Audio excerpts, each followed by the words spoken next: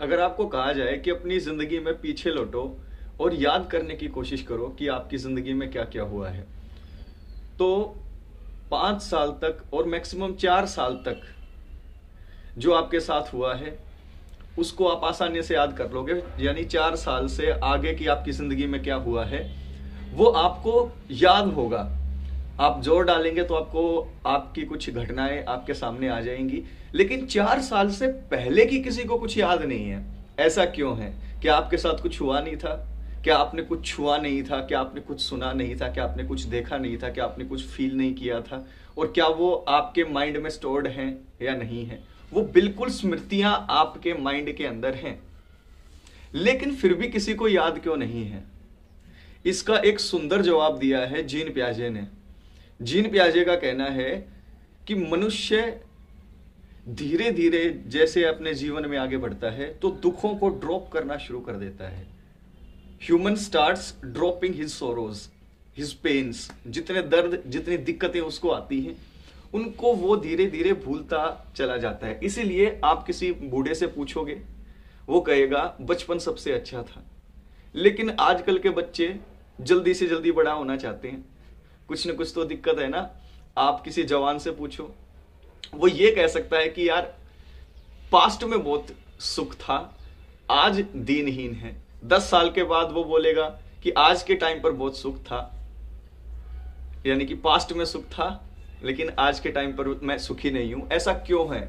ऐसी सोच क्यों है कि हर बच्चा जल्दी से जल्दी बड़ा होना चाहता है और बूढ़ा हमेशा ये कहता है कि बचपन सबसे सुंदर था।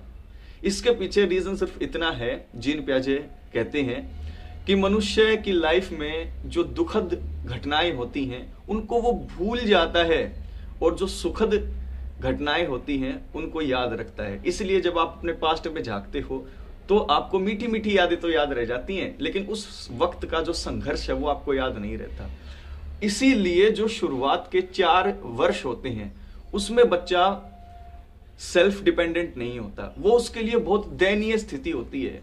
मम्मी, पापा के कहने से खाना, पीना, उठना, बैठना, वो दूसरों के ऊपर पूरी तरीके से डिपेंडेंट है। वो इतना दुखद समय होता है बच्चे के लिए कि उस समय पर जो बच्चे के साथ हुआ है, वो याद रखने योग्य ही नहीं है। यानी, पापा ने डांट दिया तो रोने लग गया। आप ना हिल सकते हैं, ना डुल सकते हैं, ना अपनी मर्ज़ी से कहीं जा सकते हैं। सब कुछ आप जो है दूसरों के ऊपर डिपेंडेंट है हर किसी तरीके से।